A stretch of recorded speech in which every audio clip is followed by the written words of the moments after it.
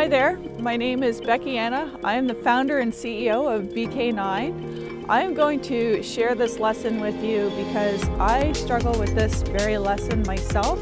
And, and this here is uh, the head tilt and fading technique that I use in heeling.